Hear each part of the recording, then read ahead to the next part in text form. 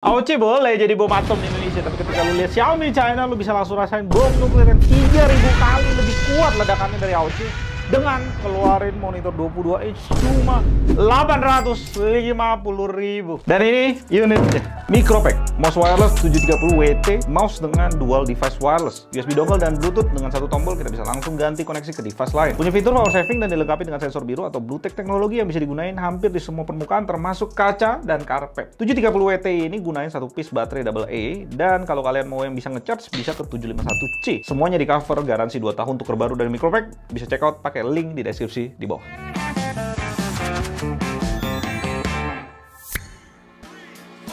Di video kali ini nggak cuma yang 850 ribu, tapi ada Redmi Pro 24 inch dengan cuma 1,7 juta udah full ergo stand. Huawei juga nggak mau kalah dengan Mate SE-nya di 1,7 juta. Dan yang paling gilanya, Xiaomi keluar Redmi 27 inch 4K USB-C yang cuma 4,3 juta. Kita mulai dari monitor yang pembantainya paling gila dari Xiaomi, Redmi 22 inch. Ya sekarang harganya kisaran 850 sampai 860. Ya gue sih penasaran aja ya gimana apakah Xiaomi akan ngerusak lagi otak gue dengan kasih standar yang gila lagi dengan monitor budget kayak gini. I don't know, 22 inch. Langsung dikasih plat besi aja. Adapternya juga langsung jadi itu Harusnya nggak banyak budget yang Xiaomi punya ya bikin 22 inch segila ini 800 ribu men. Angka 800 ribu itu sudah tidak ngotak sih sebenarnya untuk sebuah monitor. Ya. Uh. Ini taruh di sini. Oh iya, basic aja sih. Eh bagian belakangnya kayak bentuk warna-warna busa, warna hitam terus ada bercak-bercak coraknya putih-putih gitu lah. Di sini udah joystick. 22 inch joystick 800 ribu. Gimana caranya? Brand-brand yang ini pakai tombol harusnya tersinggung sih. Di sini desain by Xiaomi, simple gitu aja. Yang gue bingung gimana caranya pakai bracket ketika lu ada besi yang nongolin. Ini langsung diceklek aja. Oh, masih pakai baut. Oh iya, ini baut. Xiaomi kasih lu baut kayak gini supaya lu bisa puter di bracketnya. Dia kasih HDMI. Sudah dipikirin, beda bos. Standar Xiaomi beda beda. Dikasih obeng juga. Pennya juga kotak biasa. Uh, besi masih dikasih besi full ya. Selalu levelnya di atas brand-brand internasional yang sudah kita lihat. AOC 1,2 juta by the way. Ini 800 ribu.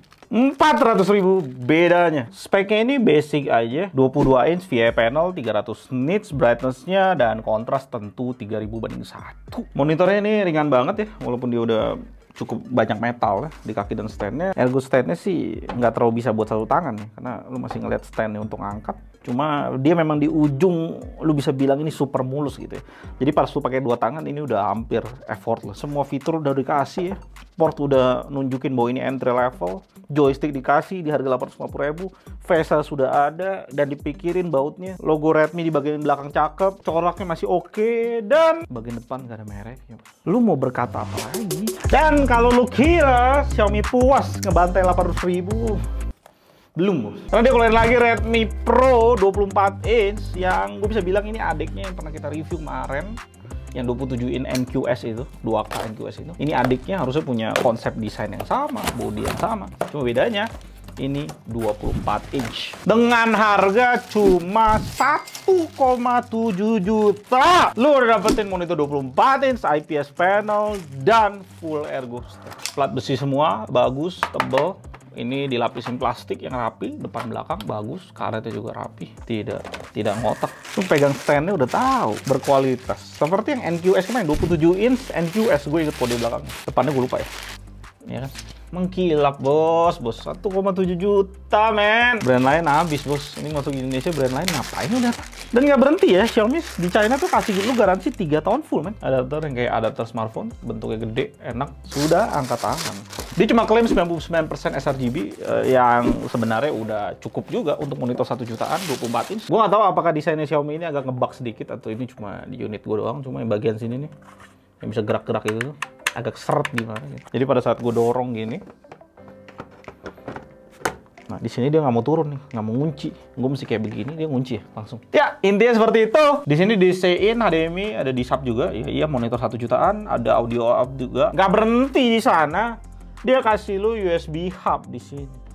Kalau dari info banyak brand yang gue tahu, USB hub di monitor itu harganya paling mahal. Ya plug-in istilahnya plug-in. Kalau di China itu tambahan gitu paling mahal. Makanya nggak semua monitor mau pakai USB hub karena harganya langsung melambung 1,7 juta bos. Monitor 1 jutaan sudah punya USB hub. Ada nggak saingannya? Indonesia masih 2 jutaan 24 inch. Belum Ergo dan tidak ada USB hub. Masih ada yang garansi satu tahun juga. LG Acer. Ya Samsung gue maklumin lah ya. 1,7 juta. Masih dikasih calibration report. Ini sih kalau sampai bagus. Habis bos monitor di Indonesia nggak ada gunanya. Lu lihat lagi. Kita tes ya. Satu tangan dia ngangkat ya. Oh satu tangan juga kesulit. Desainnya sih gue kurang demen ya sebenarnya. Buat mata gue sih kurang enak garis-garis ini. Biasa dipakai sama Samsung. Ergo stand-nya udah full. Lu tetap nggak bisa pakai satu tangan tiltnya. Tapi sama kayak 22 inch. Dia di ujung lu bisa bilang dia super mulus. Jadi ketika lu pakai dua tangan ini udah effortless.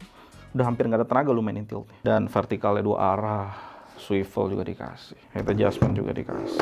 Lihat seberapa clean ya, 24 inch. Ngelihat Xiaomi membantai mulu kayaknya Huawei gerah juga, dia pengen ikutan perang juga. Ya Huawei China ya bukan Indonesia. Dia keluarin juga 24 inch terbarunya di Mateview SE yang non ergo stand, harganya satu setengah juta. Dan Huawei seperti yang kita tahu, dia selalu berani tampil beda, di mana monitor yang satu ini diklaim sudah dikalibrasi pertama. Dia juga bisa, dia bilang P3 White Color gamut 90%, satu setengah juta, gamut P3 90%. Dan kelihatannya dia kasih kita preset sRGB, man. Dan kalau ini memang bener-bener bener, bener-bener bener, bener-bener bekerja dengan baik, apakah ini tanda kalau monitor akan dikuasain lagi dengan sama brand China seperti yang di smartphone gitu. Mungkin ini awal. Ya standnya di sini yang plastik, full plastik. Kabel apa? HDMI harusnya HDMI. Tetap gayanya adaptor ya untuk power.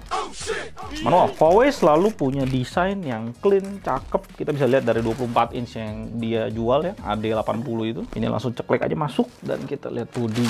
Dari belakang clean aja gitu dengan portnya DC in. Oh nggak ada audio out, langsung DP dan HDMI. Satu setengah juta lo dapet DP dan HDMI, nggak ada disap. Nice. Satu setengah juta dia kasih DCI P3 90% dan gue belum pernah lihat Huawei ngibul tentang speknya atau overclaim. Dan ketika lo masuk OSD, oh ini joystick by the way mewah banget. Satu setengah juta mewah banget. Bangke. Di sini udah ada preset P3 dan di sini ada preset sRGB coba gue rubah ya. Wah kayaknya bener. Soalnya di mata gue ya karena gue udah biasa kalibrasi monitor di sini birunya agak jadi redup nih. Kehilangan saturation birunya. Dan ini harusnya sRGB bener. Bangke. Kalau ini benar-benar jadi sih. Itu kalau Huawei Indonesia niat kayak Huawei China tapi kalau kelakuannya kayak kemarin ya, Huawei Indonesia yang sekarang. Yang Matthew GT sampai hari ini tidak masuk-masuk, ya nggak beda sama Xiaomi Indonesia. Suram. Dan gue lupa bilang kalau yang ini juga ada versi full ergonya, cuma gue nggak beli ya. Harganya 1,9 juta yang gue pikir ya kita lihat versi bawahnya aja karena monitor budget seberapa dia bisa budget cuma dengan dia tidak ada ergo standnya jadi nggak ada face-nya gue nggak tahu yang full ergo stand ada face dan yang paling spesial hari ini Redmi keluaran 27 inch 4K USB-C yang ini bodinya paling berat sih dari semua. Setelah Xiaomi membantai dengan brand Xiaomi, dia keluarin monitor yang terbaik yang gue pernah lihat di 2022 dengan Rec 2020 sampai 84 persen yaitu harga 7 jutaan brand Xiaomi. Nggak puas, Xiaomi tetap nggak puas. Haus dia pembantaian. Redmi dikeluarin untuk mengisi posisi di bawahnya. Dengan harga cuma 4,3 juta. 4,3 juta sekali lagi ngomong. 4K 27 inch USB-C 65 watt DCI P3-nya 95 persen. Berarti reaktivitasnya sekitar 70-an, 70-an persen. Dan di 4 juta. Yang paling deket harusnya Samsung S27 A800U ya, yang yang lagi OTW yang baru mau gue review. Itu yang gue consider terbaik di Indonesia. Dan lo mesti ingat, Xiaomi China beda bos sama Xiaomi Indonesia. Garansinya 3 tahun full. Oh, dia tetap pakai konsep yang gitu. Jauh lebih padat ya, tapi jauh lebih padat, jauh lebih berat feelnya. Mirip konsepnya Redmi Pro tadi. Plastiknya jangan lupa. Ketika lu sudah murah, barang dikasih all out kayak gini, lu mau komplain juga susah. Mau nggak beli pun susah gitu. Kotak standar, simple, clean, padat, semua yang diimpikan orang-orang desainer kabel power kabel thunderbolt HDMI notebook tidak penting. Wah kali ini nggak pakai magnet ya klep-klepan gitu doang. Kali ini biasa aja Redmi. Ya mesti ada yang dikorbanin. Slot kalibrasi seperti biasa di CIP3 oke. Okay. Dan sRGB ya, harusnya dua preset itu yang biasanya dipakai kalau monitor 95% di CIP3. sRGB dan display P3 yang di cover. Gamanya 2,2 biasa. Konsepnya Redmi bulat gitu aja. Perlu gue bilang seberapa indahnya ini. Pembuangan panas lingkaran kayak gini di bagian face face saya cakep, monitornya berat, build quality bagus. Konsep Dell juga masih dipakai ya di tengah-tengah monitor bagian depan atau belakang dan mengitari semua monitornya sampai bagian bawah. Dan Xiaomi kali ini pindahin USB-nya portnya di bagian sini bukan yang di luar gitu ya.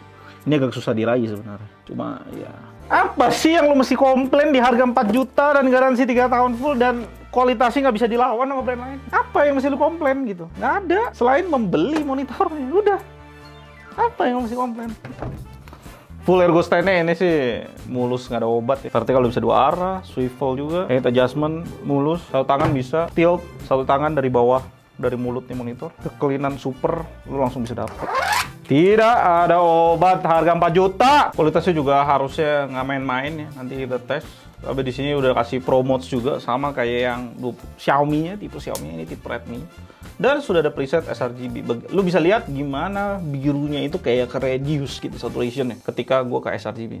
Ini sRGB, ini yang P3 ya kan? Birunya agak sedikit keluar. Kita tunggu di review lengkapnya. Jangan lupa subscribe. Dan dengan adanya 4 monitor ini dari Huawei, Xiaomi juga habisin semua segmen. Gua rasa ini udah mulai era baru di China sana di mana kembali lagi sejarah terulang yang ada di smartphone di mana brand-brand China menguasai pasar dari entry level sampai hampir high level gitu ya. Jadi entry paling low, ke mid, hampir ke high disikat habis sama China dan kalau ini dua brand gila China ini masuk ke Indonesia dan niat, kalau niat ya, dan AOC masuk untuk memenuhi posisi gaming, kayaknya udah nggak ada alasan lu beli brand-brand Taiwan kayak Asus, Gigabyte, MSI yang masih jualan gimmick kadang-kadang. Dan harganya yang tidak ngotak ya, terutama MSI. Ya, gua rasa hal itu cuma baru terjadi di China dan bisa dinikmatin sama rakyat-rakyat sana. Di Indonesia mungkin harus di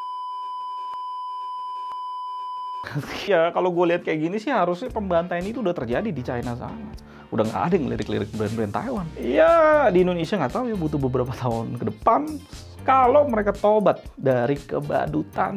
Thank you buat kalian yang udah nonton sampai akhir. Gue Elinda Jitadi, sampai jumpa.